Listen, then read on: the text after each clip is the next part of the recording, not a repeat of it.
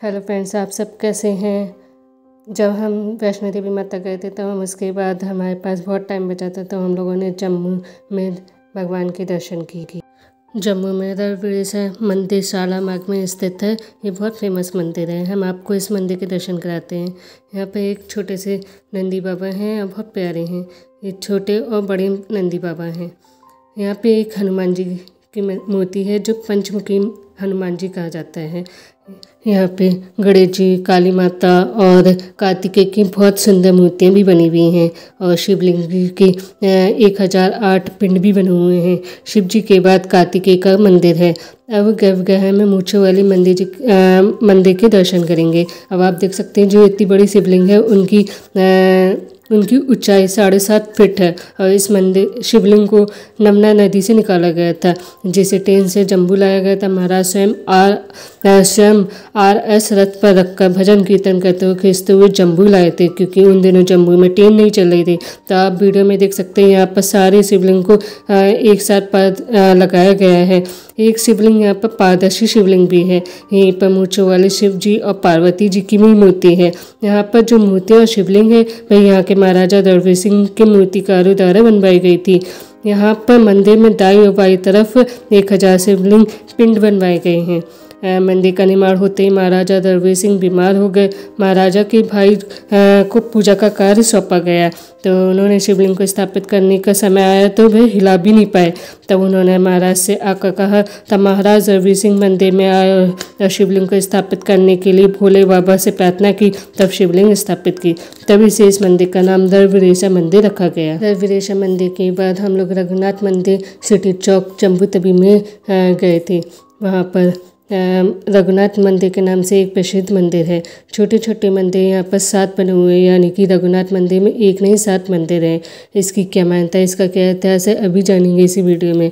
बहुत बड़ा और फ़ेमस मंदिर है उत्तर भारत का बहुत बड़ा माना गया है। इसका निर्माण अठारहवीं शताब्दी में गुलाब सिंह और उनके बेटे रणजीत सिंह ने बनवाया था, जब अब आप इस मंदिर में एंट्री करेंगे, तब आपको सात परकोटे दिखाई देंगे। मेन जो मंदिर है, वे श्री राम जी का मंदिर है। लेकिन इसके अलावा सारे देवी देवताओं के भी दर्शन होंगे। मंदिर का मेन एंट्रेंस है श्री राम जी के दर्शन। मेन गेट का सूर्य भगवान बने हुए हैं। राम दरबार है। परिक्रमा मार्ग में आपको अग्निदेव और सारी चारों दिशाएँ आपको यहाँ पे मूर्तियाँ दिखाई देंगी। आप यहाँ पे शनिदेव और हनुमान जी के भी दर्शन करेंगे। यहाँ पे चार ये चार ये परकोटे बने हुए थे तो उनके अंदर ये ठाकुर जी के पिंड बने, बनाए गए हुए हैं। आप देख सकते हैं, ये सारे देवी देवता और ये सब पिंड स्थापित किए गए हैं। इनकी भी लोग पूजा करते हैं। जो आप कहानियों में, भागवत में आप इनकी स्टोरियाँ पढ़ते हैं, उनकी भी देवी देवताओं की भी मूर्तियाँ बनाई गई हैं। पूरे उत्तर भारत में एक ऐसा मंदिर है जहाँ पर तैतीस करोड़ देवी देवता विराजमान है। कहा जाता है पूरे भारत और विश्व में एक ऐसा मंदिर है जहाँ तैतीस करोड़ देवी देवता हैं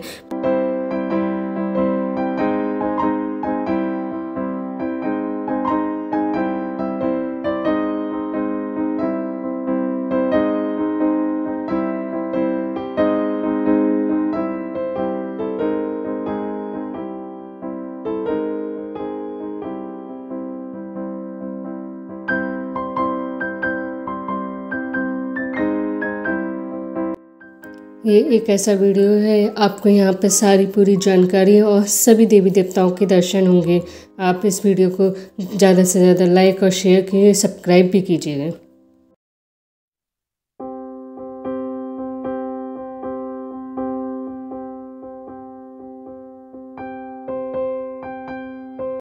मेन मंदिर के पीछे माता वैष्णो देवी का भी मंदिर बना हुआ है। जहाँ पे आप देख सकते हैं माता वैष्णो देवी मंदिर के यहाँ पे कितनी मान्यता है। लोग अपनी अपनी मन्नतें मांगने के लिए यहाँ पर आते हैं दूर दराज से और यहाँ पे अपनी मनोकामनाएँ मांगते हैं। मनोकामनाएँ यहाँ पे कहते हैं पूरी भी होती है। मनोकामनाएँ लोग मांगने के लिए दूर दराज से आते हैं।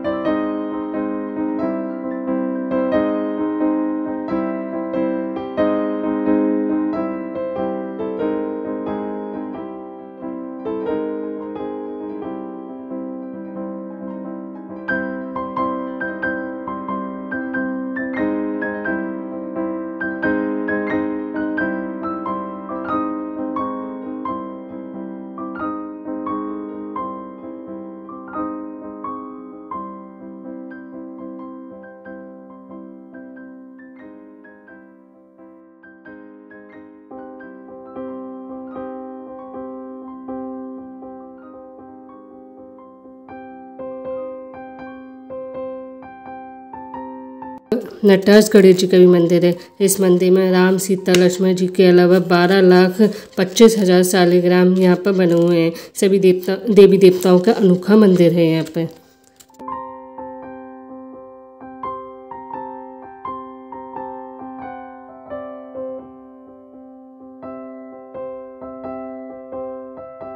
आप आगे वीडियो में देखेंगे यहाँ पर हमारे, हम वीडियो रिकॉर्ड करते समय भी हमारे साथ एक चमत्कार हुआ। आप वीडियो में देखेंगे आगे चल के।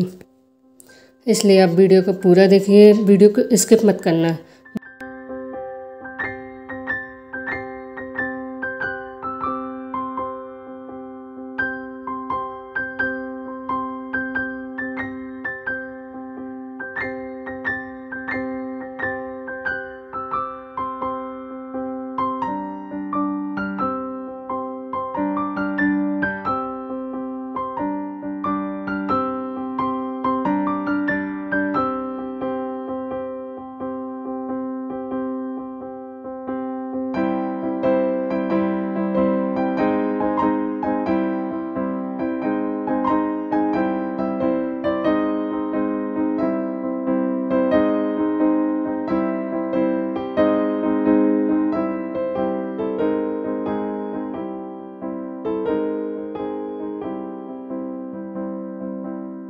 ये परिक्रमा मार्ग में हमने भगवान जी की भी वीडियो बनाई। यहाँ पे भरत जी हैं शत्रुघ्न और शालिग्राम।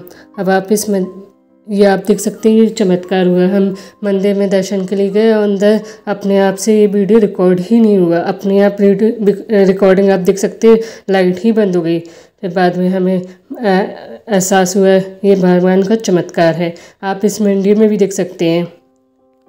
चमत्कार है ये भगवान का। वीडियो रिकॉर्ड नहीं हो रहा था। आप देख सकते हैं हर जगह कैमरा इसलिए अलाउ नहीं होता। है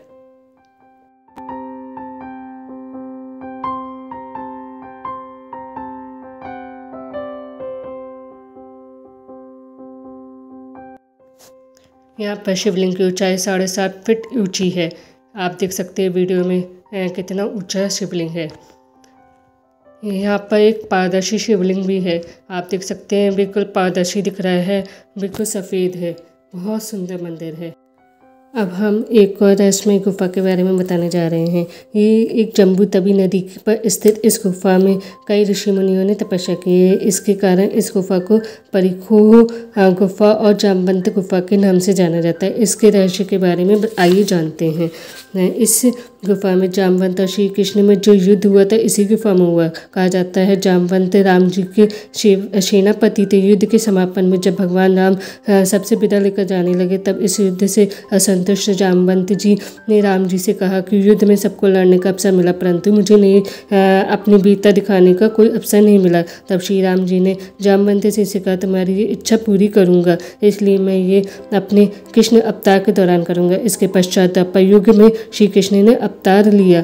और तब श्री राम ने श्री कृष्ण भगवान ने सामंतक मणि के लिए जामवंत से युद्ध किया, जो लगातार सत्ताईस दिनों तक चला। जो युद्ध में न कोई हारा, न कोई जीता। भगवान राम जामवंत जी से किया हुआ वादा पूरा किया। इसके बाद जामवंत ने श्री राम श्री कृष्ण को पहचानने के बाद श्री, भगवान श्री कृष्ण को अपने घर आमंत्रित किया। यहीं पर अपनी पुत्री का हाथ कृष्ण जी के हाथों में थमा दिया। दहेज में सामंतक मणि उन्हें दे दी। माना जाता है कि जामवंत रुद्राक्ष शिवलिंग शिवलिंग बनाकर भगवान शिव जी की कई सालों तक तपस्या की। आज भी ये रुद्राक्ष शिवलिंग विराजमान है। आपको ये सारी जानकारी कैसी लगी, आप कमेंट बॉक्स में लिखकर ज़रूर बताइएगा।